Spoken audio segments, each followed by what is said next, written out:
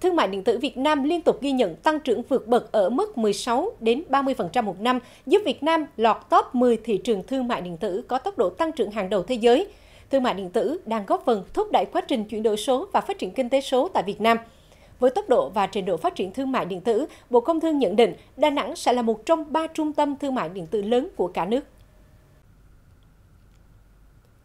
Năm 2023, quy mô thị trường thương mại điện tử bán lẻ Việt Nam ước đạt 20,5 tỷ đô la Mỹ, chiếm khoảng 7,8% đến 8% doanh thu hàng hóa và dịch vụ tiêu dùng của cả nước. Việt Nam được các tổ chức trên thế giới ghi nhận có tốc độ phát triển thương mại điện tử dẫn đầu khu vực Đông Nam Á. Đây là động lực rất lớn cho phát triển thương mại và hoạt động kinh tế của cả nước. Qua thì Đà Nẵng luôn luôn là một trong những địa phương dẫn đầu về mức độ phát triển thương mại điện tử và ủy ban nhân thành phố Hội Đà Nẵng cũng các sở ban ngành rất là quan tâm triển khai nhiều cái hoạt động để hỗ trợ cộng đồng doanh nghiệp cũng như là người tiêu dùng, nâng cao cái năng lực ứng dụng thương mại điện tử và đưa thương mại điện tử trở thành một trong những kênh phân phối quan trọng hệ thống thương mại và với cái kỳ vọng rằng là Đà Nẵng sẽ trở thành một trong ba trung tâm thương mại điện tử lớn của toàn quốc bên cạnh Hà Nội và Hồ Chí Minh.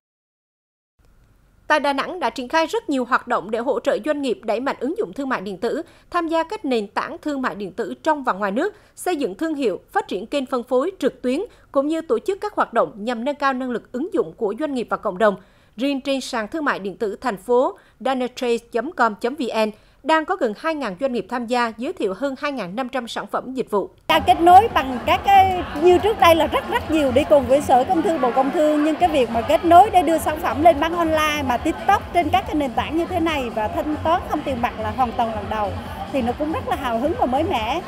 Theo số liệu của cơ quan thống kê, 11 tháng năm 2023, tổng mức luân chuyển hàng hóa và doanh thu dịch vụ tiêu dùng trên địa bàn thành phố Đà Nẵng đạt gần 116.000 tỷ đồng, tăng hơn 17% so với cùng kỳ. Trong đó, tổng mức bán lẻ hàng hóa tiêu dùng đạt khoảng 62.300 tỷ đồng, tăng hơn 6% so với cùng kỳ năm trước. So với các thành phố lớn, quy mô thị trường bán lẻ của Đà Nẵng không quá cao nhưng lợi thế về hạ tầng số, công dân số của Đà Nẵng, các doanh nghiệp biết nắm bắt và tận dụng tối đa thì thương mại điện tử sẽ là trụ đỡ làm tăng doanh số bán hàng.